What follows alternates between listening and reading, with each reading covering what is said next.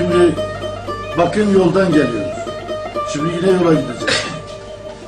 Hiçbirimizin garantisi yok. Şurada ayakta duranın da oturanın da garantisi yok. Yani ruh bir saniyeliktir. Küf dedimeli bir solukluktur. Gitti.